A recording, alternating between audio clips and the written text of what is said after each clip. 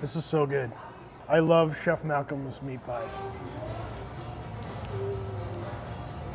The crust is light and flaky.